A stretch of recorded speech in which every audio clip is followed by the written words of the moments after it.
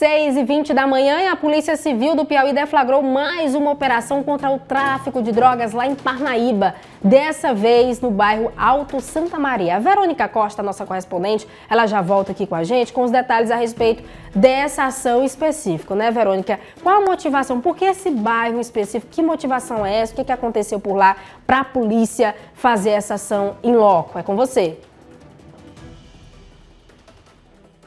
Oi, Trace, muito bom dia a você mais uma vez, a você e a todos. Olha, segundo o que foi nos repassado pela delegacia, é de que uma, uma situação que já havia sendo monitorada.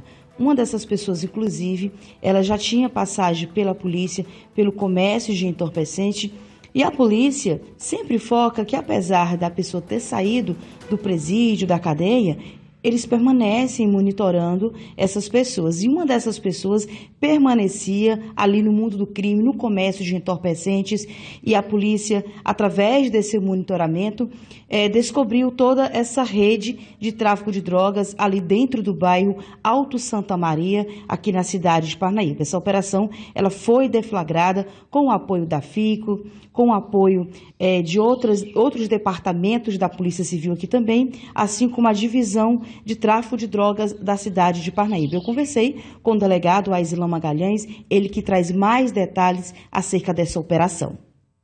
Polícia Civil do Piauí, por intermédio da segunda divisão de tráfico, com o apoio aí da DENARC, do NOC, das demais unidades da Polícia Civil aqui de Parnaíba, da FICO e da Polícia Militar, né, deflagrou uma operação lá no Alto Santa Maria para combater o tráfico de drogas que, está acontecendo lá naquela região, né, já faz um bom tempo que os alvos estão sendo monitorados e a, a investigação desde oito meses aproximadamente, né, que os alvos estão sendo monitorados. Foram cumpridos nove mandados de busca.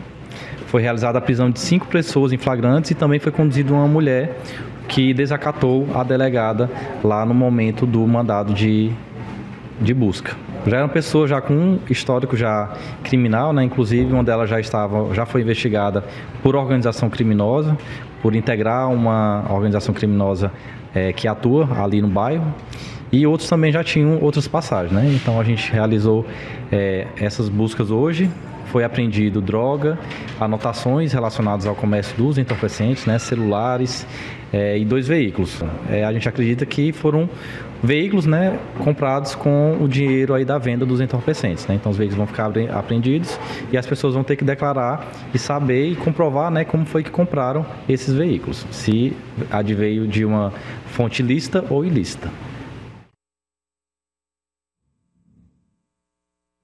Tá aí o resultado dessa operação: pessoas presas, é, drogas, dinheiro, apetrechos que eram usados ali para embalar as drogas para comercialização, além dos dois veículos, como bem colocou o delegado, que foram apreendidos e levados para a central de flagrantes, e as pessoas terão que provar de que ele foi comprado por meio lícito e não ilícito, ou seja, provavelmente com o dinheiro oriundo do tráfico. E essa pessoa também que foi presa por desacatar uma delegada ali no momento que acontecia essa operação conjunta no bairro Alto Santa Maria, Tracy.